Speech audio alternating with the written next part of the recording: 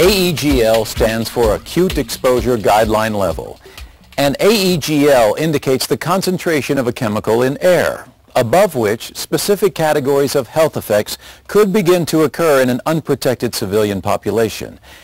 AEGLs are expressed as the concentration of a chemical an individual is exposed to over a given period of time. They represent threshold exposure limits for the general public and are applicable to one-time emergency exposure periods, ranging from 10 minutes to 8 hours. AEGLs are used by federal and state agencies to help develop emergency preparedness plans and to put priorities on emergency or terrorist attack. Unlike other toxicity values for emergency response, AEGLs are established for multiple exposure durations and effects levels. When appropriate, AEGL values are developed for five exposure periods, 10 minutes, 30 minutes, 1 hour, 4 hours, and 8 hours, and are distinguished by varying degrees of severity of toxic effects. AEGLs include three chemical-specific effect levels for specified time durations that describe the general range of toxic effects caused by a chemical. Airborne concentrations below the AEGL1 value represent exposure levels that can produce mild and progressively increasing effects that are transient and not disabling. With increasing airborne concentrations above each AEGL, there is a progressive increase in the likelihood of occurrence and severity of chemical-specific effects, described for each corresponding AEGL. The AEGL1 value is considered by the National Advisory Committee convened by the EPA and the National Research Council to be the lowest observed effect level that could be experienced without danger to the public, and that includes vulnerable populations such as the elderly and children. For concentration levels above AEGL1 but below AEGL2, there may be some discomfort, odor, irritation, but effects, if any, are not impairing and only temporary.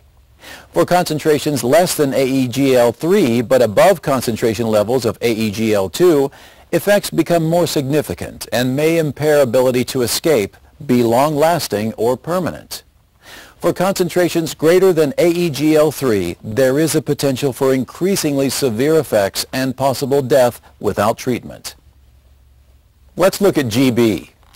Note that as the time period increases, the value of the concentration gets lower.